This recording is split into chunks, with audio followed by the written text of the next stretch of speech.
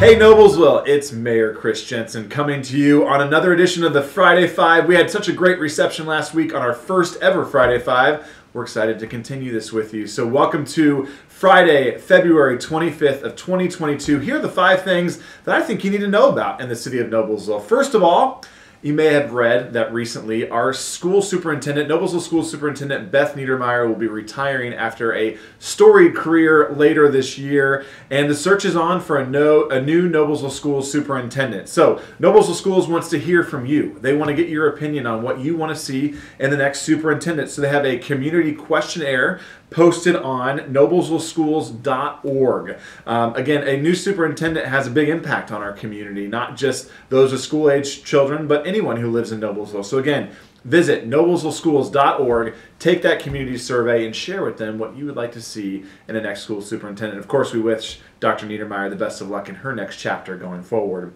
Our police department, our public safety officials are absolutely top notch. You may know that we have several canines that work alongside our officers to help keep Noblesville safe every day. Well, we have launched a new program within our police department.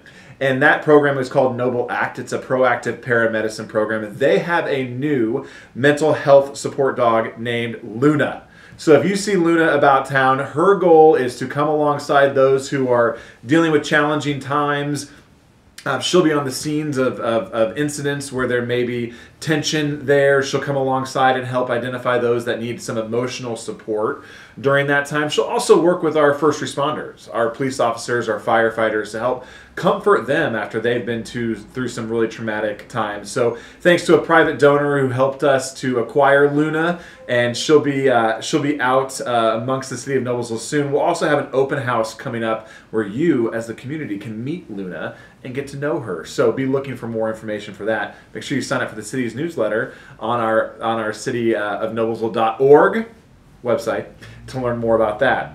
Now, the Village of Federal Hill. I know I visited this last week. I think it is worth repeating because I've gotten just a little bit more uh, information from folks who are concerned about the new project at Village of Federal Hill. You may see some construction going on right now. Uh, first and foremost, important to remember that no green space will be impacted uh, with the new addition to Federal Hill Commons, we're actually just building on the existing parking lot site as well as the site just to the west there that houses currently Wendy's before you get to Blue Sky Technology. So no green space impacted. Actually, it's going to be a new parking garage structure there with 200 parking spaces that will be open to the public. That's important to note as well. And, and a lot of folks inquired about the restrooms.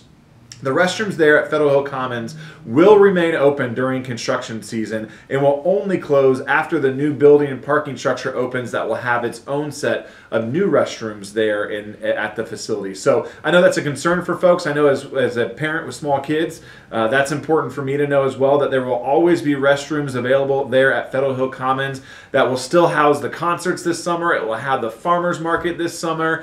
Um, so again, not too much changing, just some dirt moving to enhance that site. Let us know if you have any more questions about that. The Levinson, which is behind me over my shoulder, one of these shoulders, there's a Levinson parking garage there. Parking's always a hot topic in downtown. Boy, is it ever. And I want you to know that less than a block from the square is nearly 200 free parking spaces to park in when you come downtown Noblesville. The first four hours in that parking garage are free of charge. Four hours for free at the Levinson. So if you're coming downtown looking for a parking space, it, it, you actually exit right into the beautiful uh, alleyway that gets you a half a block from the square. So incredibly convenient. Four hours, free parking in the Levinson. So try, try it out, check it out. It's a beautiful parking structure. Last but not least, the fifth thing you need to know. Ladies and gentlemen, the Noblesville Miller girls basketball team is going to state. They'll be down at Gainbridge Fieldhouse Saturday night taking on Franklin for the state championship at 8 o'clock. The Jensen family will be there. You should be there. Tomorrow, or today in the city of Noblesville, Friday is black and gold day. So bring out your black and gold gear today. Also, wash it quickly or get some more. Wear it tomorrow down to Gainbridge Fieldhouse. Cheer on our Lady Millers.